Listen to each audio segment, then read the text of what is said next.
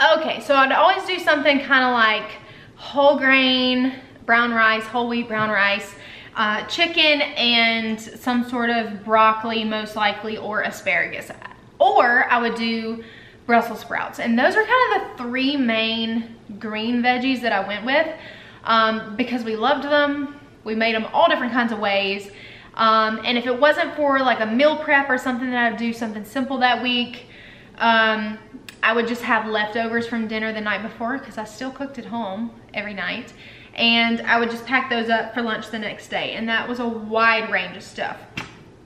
Um, and then for um, snacks, it was always like a protein bar or yogurt and berries with honey or because um, we always get the Fage, like the plain Greek yogurt, nothing crazy. Um, and so I just noticed that like, okay, I'm doing all the right things for the most part, but I'm missing something. And remember, I didn't have a good upkeep on my probiotics. I was always forgetting to take it.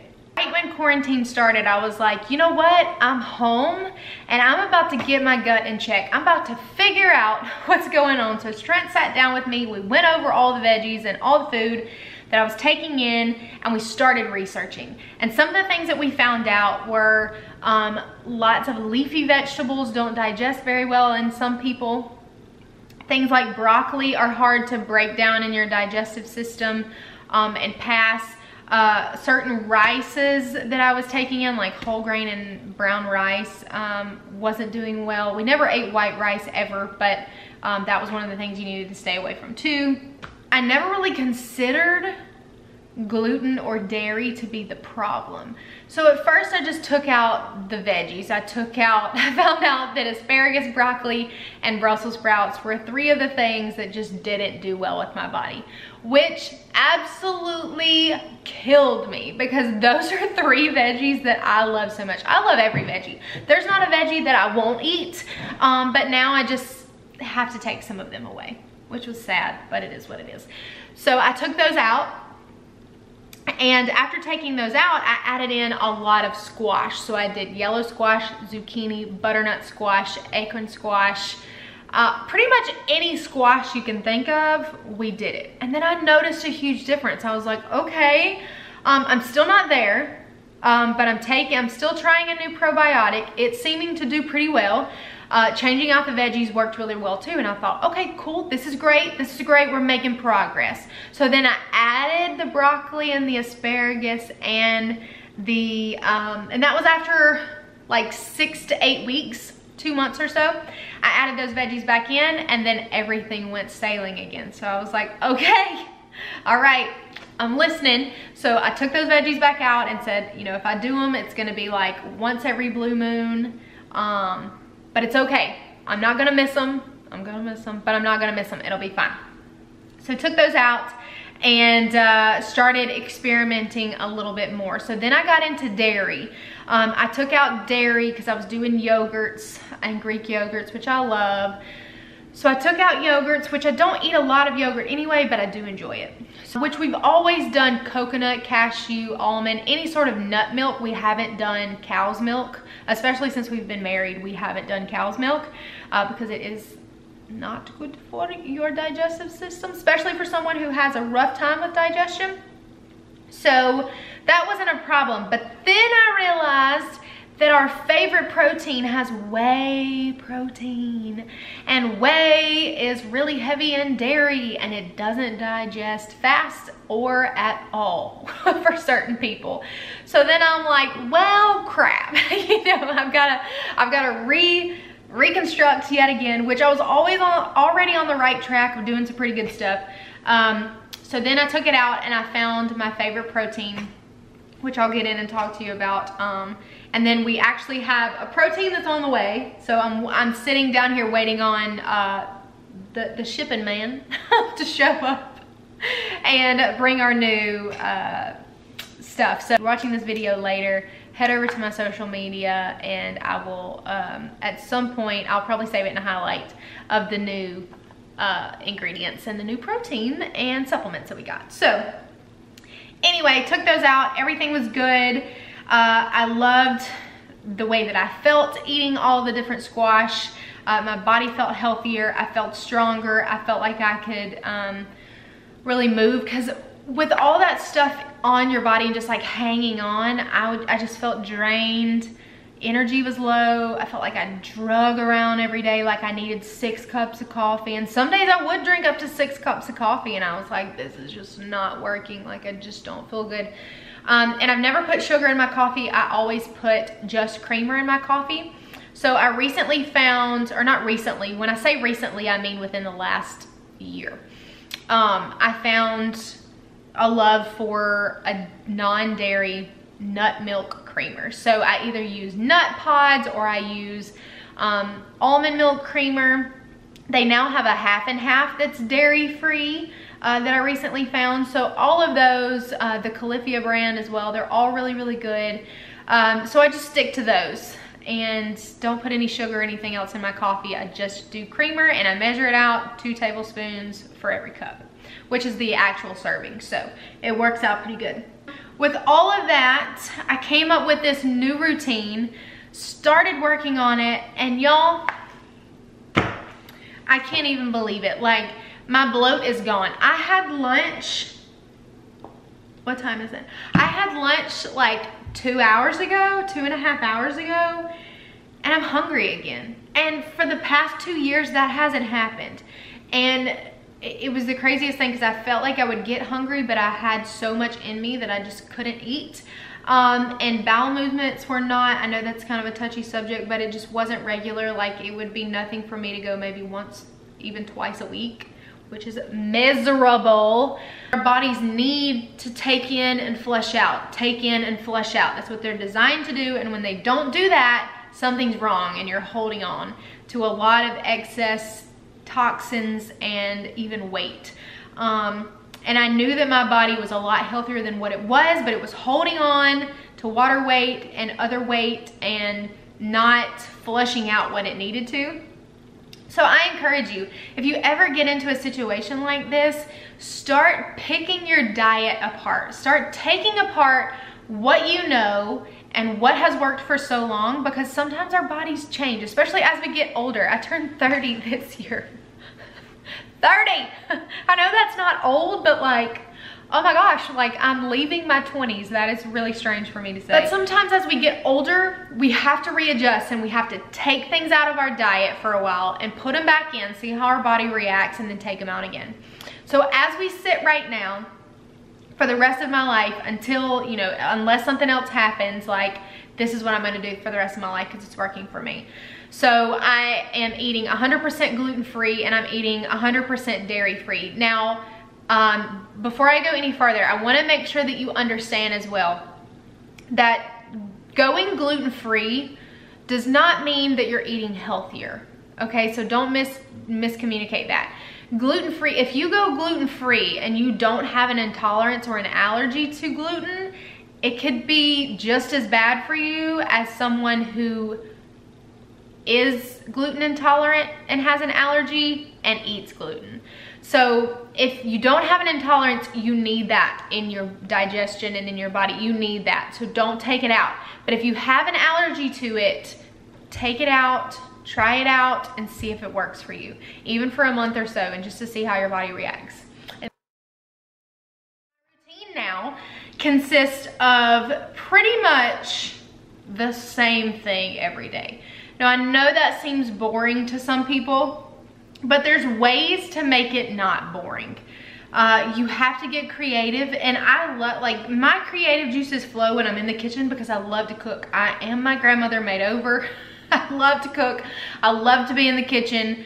Um, and she taught me all those things and that's why that I love them so much. But I have really tried to stick to the same things because I know now what works for my body and I don't want to break it because I know as soon as I break it, like things are not gonna go well. So my morning routine, or I'll just kind of go through my full like up to lunch routine. So right now my morning routine is upon waking up, I drink 20 ounces of water. Like I just, I always keep like a smaller bottle, a 20 ounce bottle beside my bed so that when I wake up in the morning and my feet touch the floor, I can grab that bottle and I can start sipping on it as I head downstairs. Because I'm one of those people, as soon as my feet hit the floor, I'm hungry, I'm ready to eat. I'm going to the kitchen. I don't have to waste time, like I'm going to the kitchen, I'm gonna eat, I'm ready. So I drink my water as I come downstairs. Um, and then once I get down here, I get the coffee started, get that ready. And then while the coffee's brewing, we have a juicer. I will also link the juicer down below.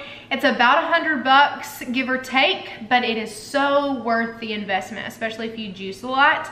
Um, so every single morning I juice celery. And this is organic celery. I usually buy this um, at Aldi, but they had this, uh, or I forgot to get it at Aldi this week, so I got it at Publix. And the organic ones actually have two different stalks or two different bunches. Do they call them bunches or bundles? You know what I mean. Two different bundles on the inside. So I take one whole bundle and I juice that bundle every single morning. So it make, you would think that makes a ton. It really doesn't make a ton. It probably makes like a cup of celery juice. Um, and so I drink my celery juice while I'm waiting on the coffee to brew. Now, one of the things that's really helped me is um, Miralax. Um, now, a lot of people are kind of iffy about Miralax because they think it's one of those things that's gonna make you run to the bathroom every 10 seconds.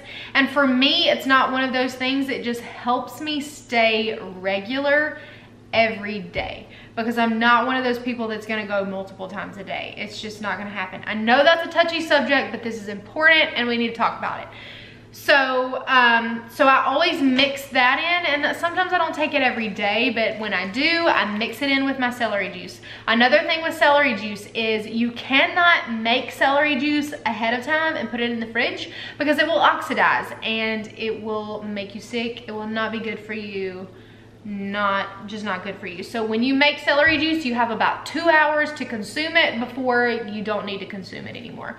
So keep them in the fridge juice them first thing every morning. It takes less than two minutes to juice and our juicer comes completely apart all the different particles and i can have it all juiced washed cleaned up in less than five minutes. It's really quick so while I'm drinking my celery juice and possibly Miralax within that, and the coffee is brewing, and then I start getting my breakfast ready. And my breakfast is the same every single morning. I only stray away from it one day a week, and that's on Sunday mornings while we're getting ready for church. Um, so First thing in the morning on Sunday mornings, we always have a traditional breakfast, eggs, bacon, um, egg whites for me, whole eggs for Trent, um, put some spinach in our eggs, and uh, sometimes we do like a protein pancake and I'll show you the pancakes that I actually make for myself. So, because Trent will do the usually um, Kodiak cakes, protein waffles, something like that. Um, but now I cannot do that, so I stick with something else. But other than that one day a week, I do the same breakfast every day. Three fourths of a cup of dry rolled oats. Not steel cut, not quick cooking, rolled oats. Three fourths of a cup and they are gluten-free. Bob's Red Mill is gluten-free. Um, and then I put water in just like regular plain water on top of my oats. I do it the lazy way in the microwave. Um, and I let them kind of sit there and soak in the water while I'm fixing my celery juice just so it can start to absorb some of the water. Then I pop it in the microwave for a minute and a half. I take it out, your microwave may be different, but for our microwave, it's a minute and a half. I take it out, I add two tablespoons of PB2, which is uh, just powdered peanut butter, basically what that is. And then I add a teaspoon of organic cinnamon, and then a fourth of a cup of fresh organic blueberries and I mix all of that up. Um, and then once I get it mixed up, I add my protein. Now, I've got a new vegan protein on the way, and I'll again, I'll show you that on my social media later, so keep an eye out for that. But right now, this is my tried and true, TriPact. Now, this is the vanilla latte and cinnamon, um, but they have other flavors, uh, but this is the one I love. I love to stick with vanilla something because I feel like I can mix it with other things because I like to make my protein chocolate chip cookies with these. I like to make um, pancakes with the, you know, lots of different things. So I like to just keep it simple. But if you like the crazy flavors, go for those because they're all really good. I've tried them all. Um, but the cool thing about this is you've got one serving of superfoods and greens within every serving of this protein. It has uh, 4.8 grams of glutamine. Glutamine is incredibly great for your digestion. It's gonna help you digest easier, faster, the whole nine, yards. Look up glutamine. I promise it's a good one. And then you've got um, some probiotics in here, which is great. But then all these things over here you have on the side. So it's soy and gluten-free. It is sugar-free, no artificial colors or flavors. Um, there's cold filtered grass-fed whey, but it's like the tiniest, tiniest, tiniest, smallest amount of whey that's in here so it's not something that's gonna tear up your stomach.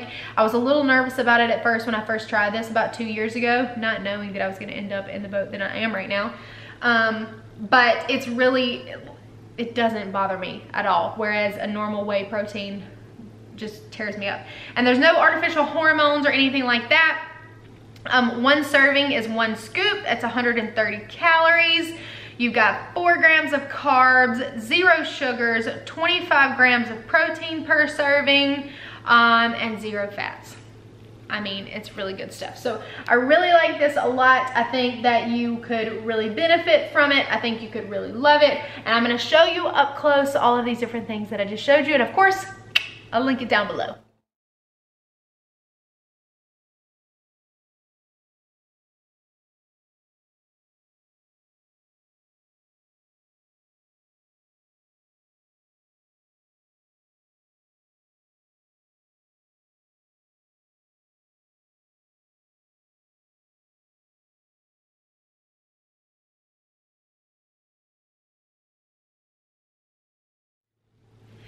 Okay, so now that you've got a closer look at the protein, I really love TriPact, and I think um, it's, it's really one of the top protein brands um, in my personal opinion. Um, for people like me that have a digestive issue but that also are looking for some extra protein added in via protein powder for different things. So th this one's just a really, really great option and I really think you're gonna love it. So give it a try. I promise you can't go wrong. So after I have my breakfast in the morning, I always do my apple cider vinegar. And you want the apple cider vinegar with the mother. That's the one you want. So of course this one's organic. I get it with the mother. That's the little, I don't know how well you can see it, but it's like that little stuff that floats down in the bottom that's the kind of stuff that you want. You want that gunky stuff that floats around. The mother is what you want. So I take two tablespoons of this a day. Um, and if you watch my Instagram stories, you know that I literally take it like a shot. I don't savor it. Um, it's not appetizing. It's not fun to do just as a shot, but you know what? It takes like two seconds. That slight little burn in the back of your throat is gone and then it's done. But uh, this stuff is really awesome for digestion and it has literally changed the game for me. These, two, if I could recommend anything else, these two right here. Drink your celery juice in the morning before you have anything else and take your apple cider vinegar. So I take a shot, or I say a shot, but I take a tablespoon of this um, around 10 a.m. So after I've had breakfast, kind of done my thing for a little bit mid-morning, take this and then right before I go to bed, I take another one, another tablespoon. So two tablespoons of that a day. Lunch, I always have four to six ounces of meat and I do weigh that on our food scale that we have. So the four to six ounces of meat is either organic chicken or organic uh, lean ground turkey.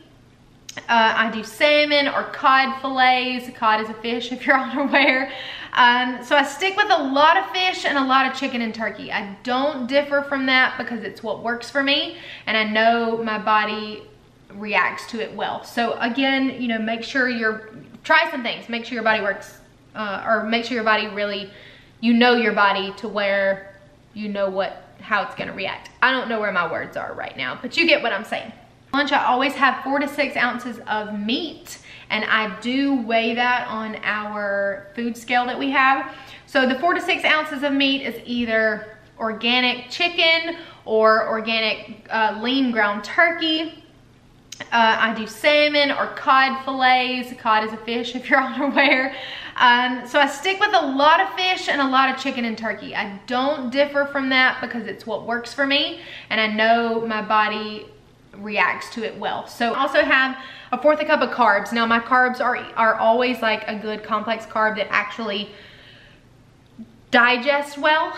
Um, and for somebody like me, this can be a difficult one because uh, carbs are typically pretty heavy a lot of the times uh, on me and so I find it very difficult to find a good set of carbs. Um, so I stick with what I know. Um, I stick with sweet potatoes and then I also do brown jasmine rice. I got this one from Trader Joe's and it's a 48 ounce bag.